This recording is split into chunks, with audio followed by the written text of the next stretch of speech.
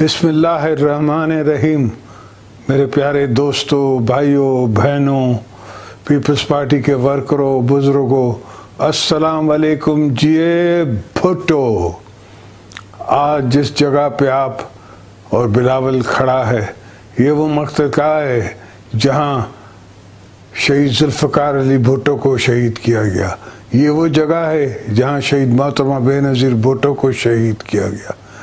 اور دونوں ایک ڈکٹیٹر کے دور میں، ایک ڈکٹیٹر جو ان سے خوف کھاتا تھا، ڈرتا تھا۔ مگر آج آپ کو خبر ہے اور آپ کو پتہ ہے کہ قدرت نے ان دونوں ڈکٹیٹروں کے ساتھ کیا کیا ہے۔ اسی طرح ہوتا ہے، عوام کی آواز اٹھانے والوں کو کی آواز بند کی جاتی ہے اور جو عام کے، عوام کے نمائندے نہیں ہوتے ہیں انہیں بڑا چڑھا کے دکھایا جاتا ہے۔ تاریخ کا یہ بھی ایک پہلو ہے۔ انشاءاللہ آپ سب دوستوں کی دعاؤں سے، آپ کی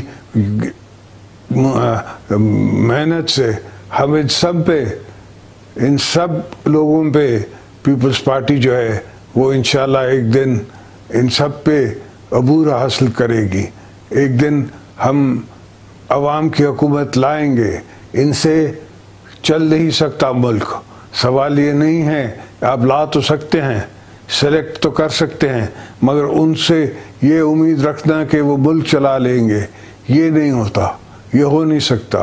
اس لیے کہ انہیں پتہ نہیں ہے اور ان کو وہ احساس نہیں ہے کہ غریب کے ساتھ کیا ہو رہا ہے، کسان کے ساتھ کیا ہو رہا ہے، مزدور کے ساتھ کیا ہو رہا ہے، مہنگائی کیا ہوتی ہے، کس طرح لوگوں کو دو روٹی کے اوپر انہیں مجبور کر دیا ہے، تو اللہ آپ کو سب کو میں دعا دیتا ہوں کہ آپ خیال کریں۔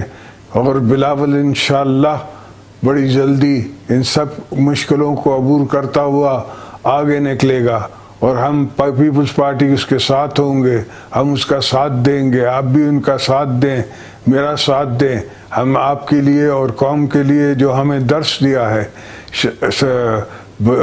شہید ذوالفقار علی بھٹو نے اور شہید محترمہ بے نظیر بھٹو نے، وہ درس ہمیں یاد ہے۔ ہم اس درس پہ چلتے ہوئے انشاءاللہ عوام کی مشکلیں آسان کریں گے۔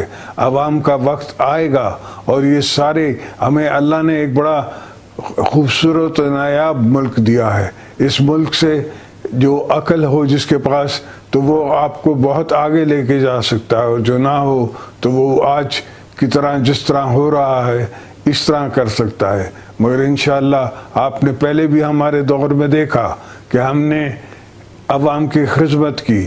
آج بھی ہم اسی سوچ کے مالک ہیں کہ انشاءاللہ آگے جا کے عوام کی خدمت کریں گے۔ جیے بھٹو۔